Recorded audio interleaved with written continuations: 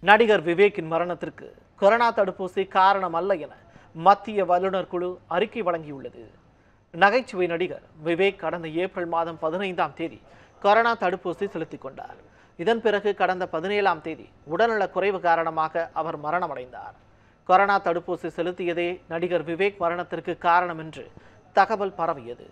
ஆனால் மரணத்திற்கு தடுப்பூசி காரணம் அல்ல என தமிழ்நாடு அரசு விளக்கம் அளித்தது இந்நிலையில் தடுப்பூசி தொடர்பான பின் விளைவுகளை ஆய்வு செய்யும் மத்திய வல்லுநர் குழு அறிக்கை ஒன்றை வெளியிட்டுள்ளது.